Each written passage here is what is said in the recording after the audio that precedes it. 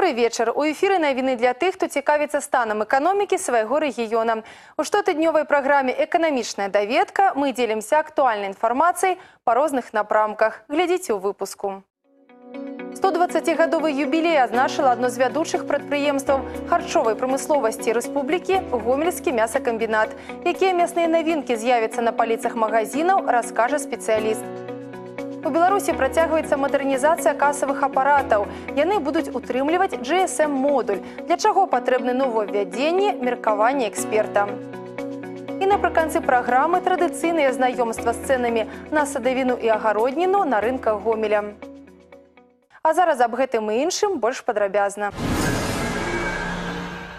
120гадовы юбілей адзначыла адно з вядучых прадпрыемстваў харчовай прамысловасці беларусі гомельскі мясакамбінат акрамя ўрачыстасцяў гэтай падзеі прысвечанай распрацоўка новых відаў мясной прадукцыі напрыклад на паліцах магазінаў хутка з'явяцца вырабы з індычкі і бараніны. Як вядома паўфабрыкаты з бараніны зараз не выпускае ні адно прадпрыемства беларусі каштоўнасць мяса гэтай жывёлы вядомая даўно але адпаведная харчовая ніша да гэтага часу пуставала.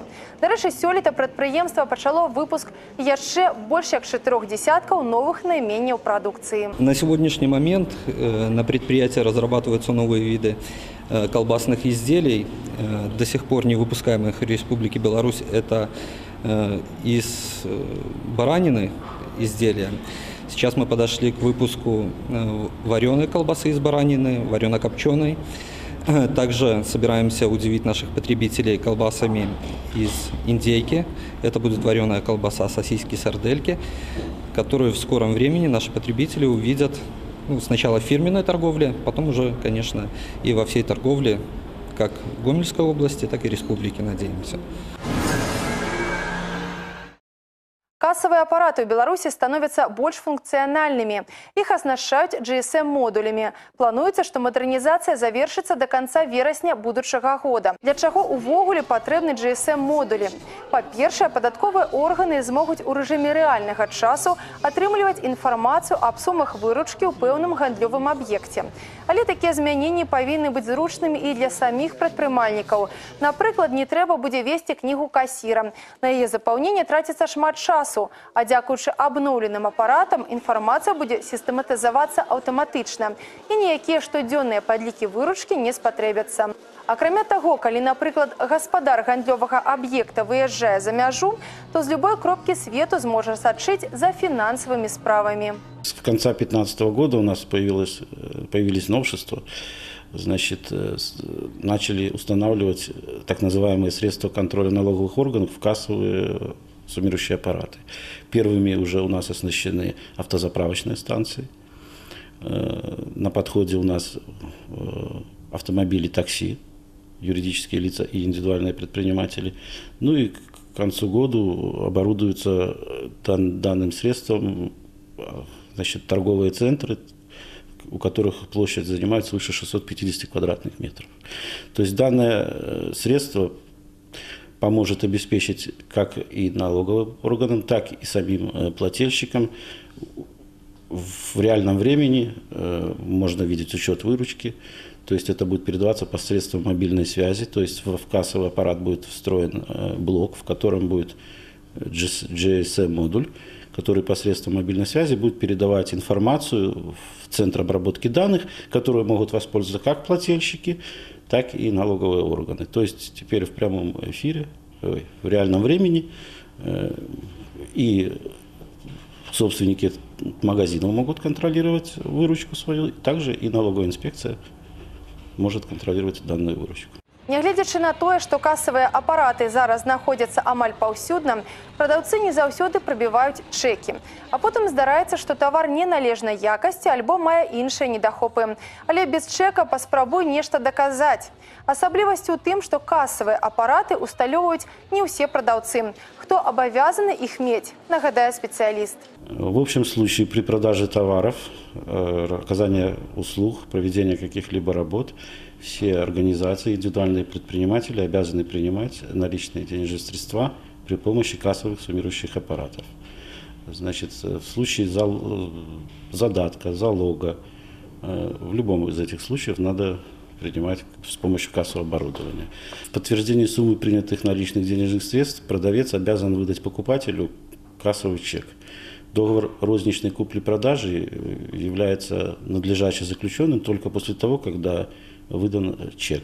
Значит, данный чек будет являться э, гарантией качества товара и возврата товара, если товар некачественный. Напэўна, амаль кожны трапляў у сітуацыю, калі ў прадаўца адсутнічае касавы апарат, а пакупнік прынцыпова і гэта правільна жадае атрымаць чэк.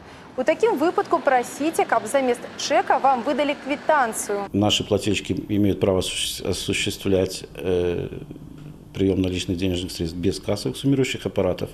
Значит, э, есть случаи, когда они обязаны выписать квитанцию о приеме наличных денежных средств. То есть это бланк э, со степенью защиты, э, строгой формы. Значит, а есть случаи, когда они не обязаны выписывать. Но в этом случае э, граждане имеют право потребовать выписать эту квитанцию, опять же, для защиты своих прав.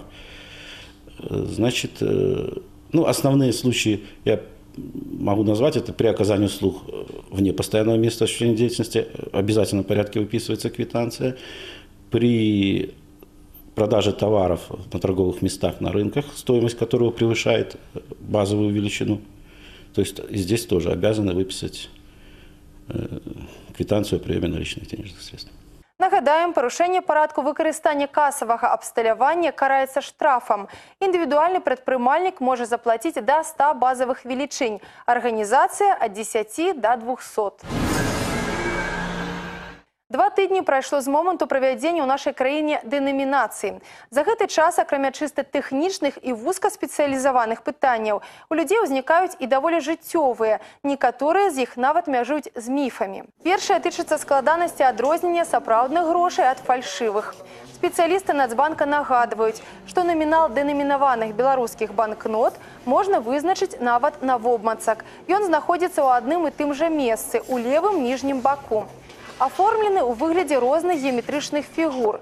Трохвугольнік гэта 50 рублёў, ромб 100, квадрат 20, рыска 5.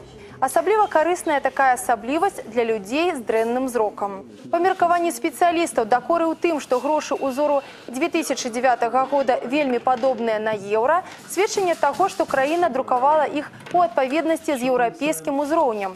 Ну а падабенства ў тым, што як еўра, так і беларускія грошы адлюстроўваюць сем колераў вясёлкі. Акрамя таго і па ступенях аховы банкноты адпавядаюць сусветным стандартам. Напрыклад, маюць ахоўную ніць ваконнага тыпу. Гэта значыць, яна выходзіць на паверхню купюры ў выглядзе асобных пункцірных палосак і прамавугольнікаў. А таксама вадзяны знак, які добра бачны на прасвет і адпавядае асноўнай выяве на банкноце. Зманлівым спецыялісты называюць уражанне, што краіне не хапае дэнамінаваных грошай і тлумачыць, што перад першым ліпеня людзі дастаткова актыўна знімалі наяўнасць у банкаматах і таму зараз расплочваюцца ў асноўным банкнотамі ўзору 2000 года. А так усе банкі і магазины маюць банкноты 2009 года ў дастатковым аб'ёме, які неабходны для таго, каб карыстацца толькі імі. Сёння мы раскажам вам, як змяніліся цэны на садавіну і агародніну на гомельскіх рынках за тыдзень. Кілаграм бульбы патанеў на 20 копеек. Зараз на цэнтральным яе можна купіць усяго па 30 копеек. Максімальны кошт паўтара рублі. На палову знізіўся кошт на буракі ад 80 копеек за кілаграм на тым жа цэнтральным. Перец таксама стаў больш танным. Стартавы кошт рубель 80 копеек. А вось некаторыя ягады пачалі наадварот расці ў цане. Маліна ў сярэднім 5 рублёў за кілаграм. Чорныя парэчкі ад трох з паловай. Цэны на гэтыя і іншыя прадукты ў наступнай табліцы.